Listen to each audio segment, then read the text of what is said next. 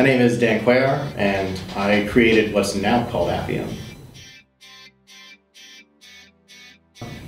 So I see Sauce as sort of the patron of Appium. Like if Appium is Beethoven, Sauce is like Archduke Rudolph or whoever his patron was that sort of lets him be and do his thing and make great things. And so I see Sauce as sort of the, the benefactor or the patron behind Appium that puts some resources into it so that the community has something very great.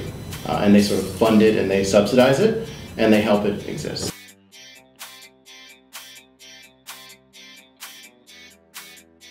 My name is Matthew Edwards, and I am currently the number two contributor to Appium uh, on GitHub, ranked by committer count. The number one reason people should use Appium is it's one of the most active automation technologies. It's open source and it's backed by a commercial company, and that makes sure that the bugs get resolved in a timely fashion.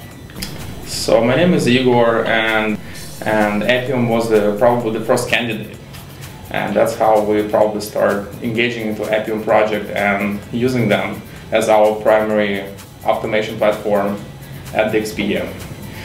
I think uh, the idea of Appium is very powerful. It pretty much it's a future, future of unifying uh, um, you know test automation under one umbrella. And uh, the idea is so great is that a lot of companies in the area and I think uh, around the nation and maybe even internationally start looking at the Appium as the as the future technology of test automation. Plus, the, uh, um, they're using um, Selenium WebDriver APIs, which is also very soon becomes industry standard.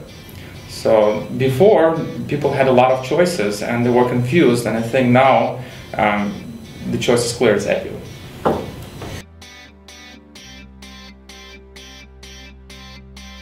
I'm Jonathan Lipps, and uh, I'm the Chief Architect and Project Lead for Appium.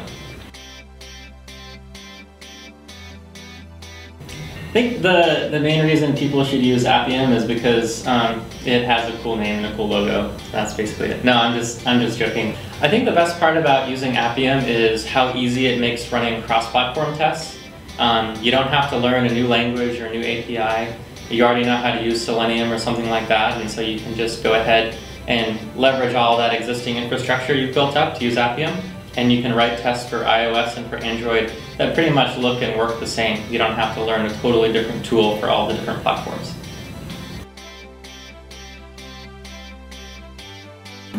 Uh, my name is Dan Dobrava, uh, and I'm affiliated with Appium because I uh, contribute both on to the source code and then also I'm a user of Appium every day and uh, organizer of the Appium San Francisco Meetup Group.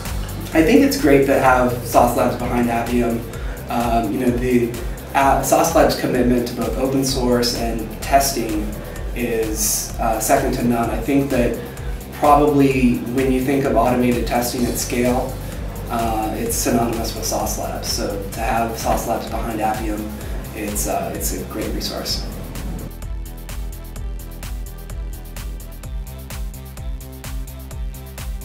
People should use Appium because it's you know, it's cross-platform. People should use Appium because you don't have to modify your code to test it. People should use Appium because it's free and we don't charge anything and it's better than what you can pay for.